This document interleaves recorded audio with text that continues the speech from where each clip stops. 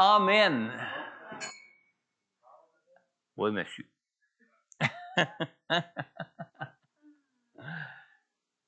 On a bien dormi? Bruno, as-tu bien dormi? Bruno, as-tu bien dormi? Oui, super. Gloire à Dieu. Nous, on a moins dormi, mais on a bien dormi. Amen? Amen.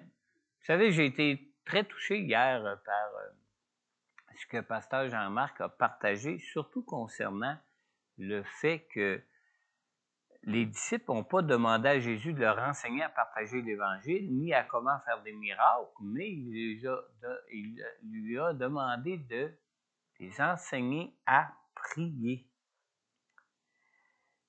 Dans Luc 11, 1, on lit Jésus priait un jour dans un, un certain endroit, et quand il eut fini, un de ses disciples lui dit Seigneur, enseigne-nous à prier tout comme Jean l'a enseigné à ses disciples. Alors, la prière, c'est la pratique de foi la plus importante dans la vie d'un enfant de Dieu.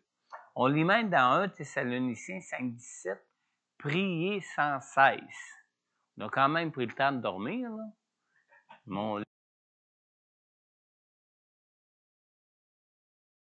Alors, pour voir le plan de bénédiction de Dieu s'accomplir dans nos vies sans laisser euh, s'accomplir dans nos vies, sans laisser notre chair, le monde ou le diable nous en détourner, nous avons besoin de prier en tout temps et en toutes choses.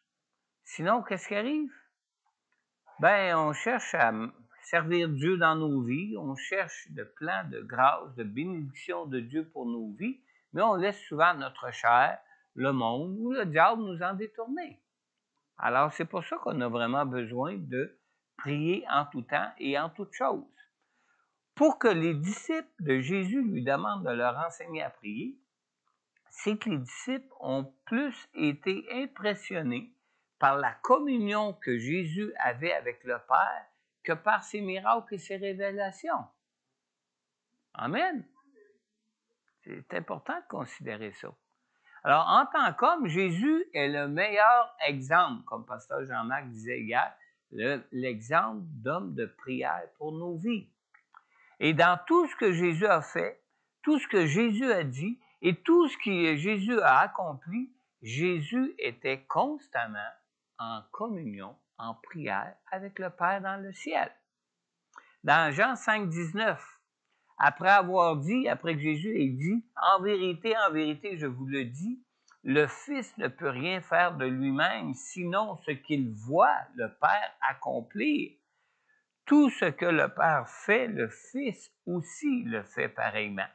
Après avoir dit ça, Jésus il dit dans le verset 20, Jésus dit, en effet, le Père aime le Fils et lui montre tout ce que lui-même a fait.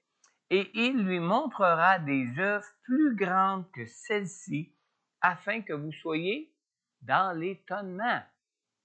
Si on n'est pas assez, on ne se sent pas assez étonné par l'œuvre de Jésus dans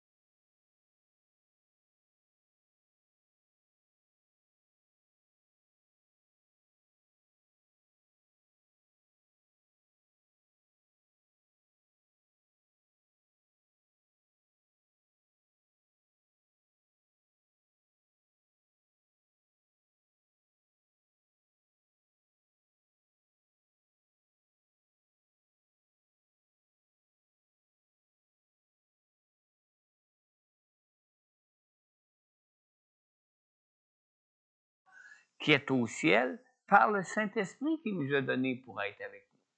Amen.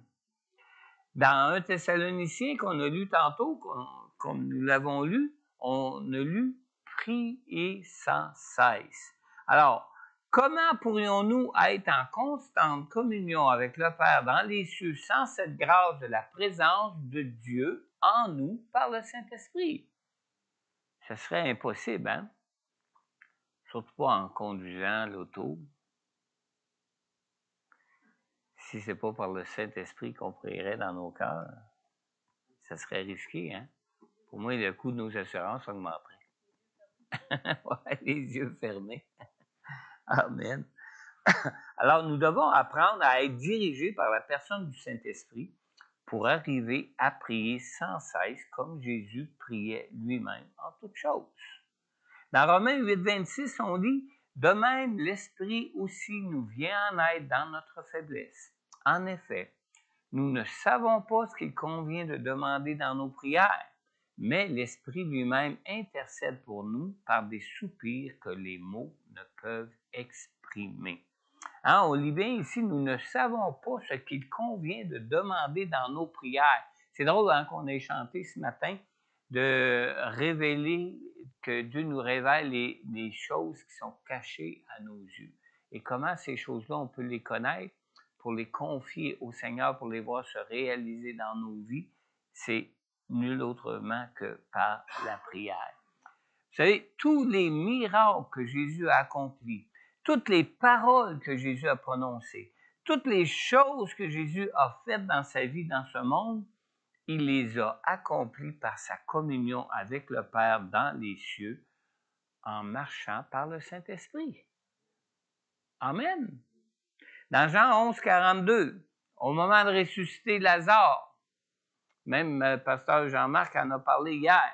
Jésus a prié pour ma part.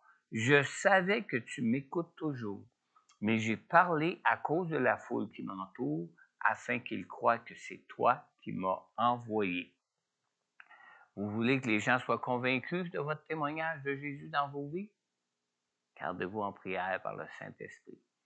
Il va pouvoir faire des choses à travers vous qui vont étonner les gens et qui vont les amener à croire en Dieu, comme les gens étaient emmenés à croire que Jésus était vraiment le Messie envoyé de Dieu à cause des choses extraordinaires qu'il accomplissait.